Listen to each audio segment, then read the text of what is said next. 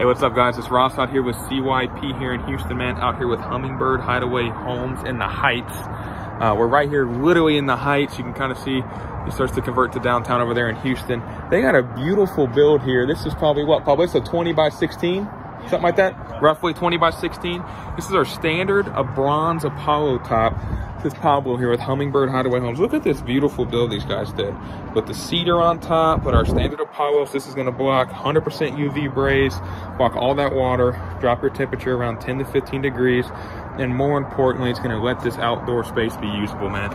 Look at this outdoor kitchen they added to. It's absolutely beautiful. Hit us up here, CYP here in Houston with Hummingbird Hideaway Homes down here in downtown, pretty close to the Heights. Hit us up, CYP baby, let's go.